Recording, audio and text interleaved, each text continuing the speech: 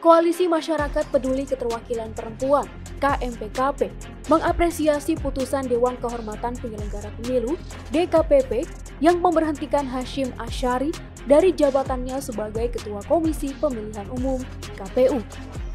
Juru bicara KMPKP, Mike Ferawati mengatakan bahwa sanksi pemberhentian Hashim merupakan keputusan terbaik untuk menghentikan segala bentuk kekerasan terhadap perempuan. Ini menjadi pesan yang tegas bahwa tidak ada ruang ataupun toleransi bagi pelaku untuk menjadi bagian dari penyelenggara pemilu di Indonesia, ucap Mike dalam keterangan tertulis pada Jumat 5 Juli 2024.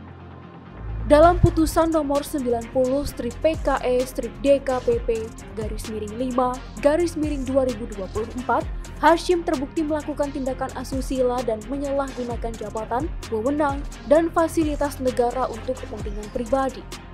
Hashim juga memanfaatkan berbagai situasi dalam kapasitasnya sebagai ketua KPU dalam melakukan tindakan yang memaksa dan menjanjikan sesuatu dalam hal melakukan tindakan asusilanya Hashim terbukti melanggar ketentuan pasal 6 ayat 1, pasal 6 ayat 2 huruf A dan C, pasal 6 ayat 3 huruf E dan F, pasal 7 ayat 1, pasal 10 huruf A, pasal 11 huruf A, 12 huruf A, pasal 15 huruf A dan huruf D, pasal 16 huruf E, dan pasal 19 huruf F Peraturan DKPP nomor 2 tahun 2017 tentang kode etik dan pedoman perilaku penyelenggara pemilu.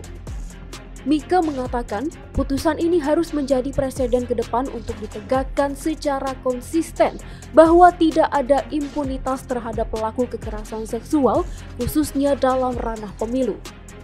Menurut Mike, paradigma ini sangat penting agar tidak mengecilkan semangat perempuan untuk menjadi aktor penting dalam aktivitas pemilu di Indonesia. Kasus ini menjadi pembelajaran ke depan bahwa pelaku kekerasan berbasis gender dalam lingkup pemilu harus diberi sanksi terberat. Lanjutnya, untuk ini, Mika mengatakan bahwa koalisi mendesak DKPP menerapkan sanksi optimal berupa pemberhentian tetap terhadap pelanggaran etika berupa kekerasan terhadap perempuan ataupun dalam bentuk tindakan lain yang serupa dengan kasus Hashim Ashari baik terhadap pengaduan yang saat ini sedang berproses di DKPP ataupun atas adanya potensi pelanggaran serupa di masa depan. Selain itu, koalisi juga mendesak KPU agar melakukan pembenahan organisasi dalam menangani kasus kekerasan berbasis gender. KMPKP mendesak KPU harus segera berbenah secara kelembagaan agar dapat secepatnya membentuk pedoman penanganan kekerasan berbasis gender utamanya menghadapi Pilkada 2024. Tegasnya, Dihubungi terpisah, pakar hukum tata negara Universitas Gajah Mada, Yance Arizona mengatakan bahwa putusan DKPP bersifat final dan harus segera ditindaklanjuti oleh Presiden Joko Widodo. Yance juga menilai putusan ini merupakan putusan yang tepat, apalagi Hashim Ashari telah dijatuhi banyak sanksi etik.